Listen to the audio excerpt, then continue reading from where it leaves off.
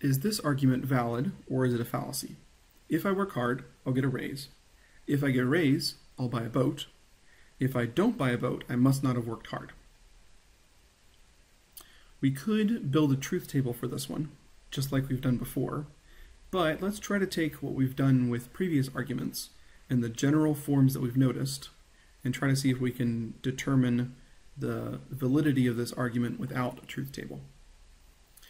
Again, we break down the argument into premises and the conclusion. The premises are the first two statements. The conclusion is the last statement. If I work hard, so we'll call working hard P. I get a raise, we'll call that Q. If I get a raise, I'll buy a boat, we'll call that R. So that the first premise is P implies Q, the second premise is Q implies R. The conclusion is if I don't buy a boat, not R, I must not have worked hard, not P. So the argument looks like this. P implies Q, Q implies R, therefore not R implies not P. And again, those three dots in that triangular pattern mean therefore.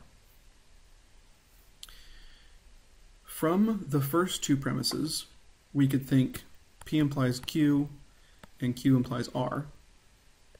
We know that it's valid then to say P implies R.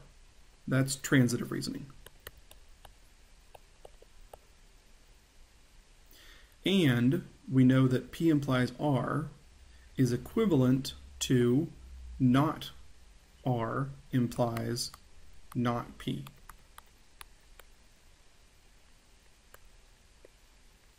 How do we know that?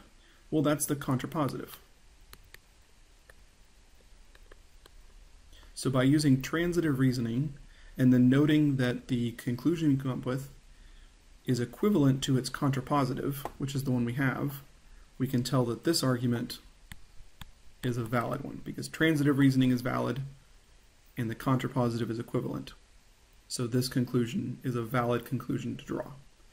So we could have drawn a truth table for this, but we can avoid that if we remember those basic logical argument forms that we observed from the previous examples.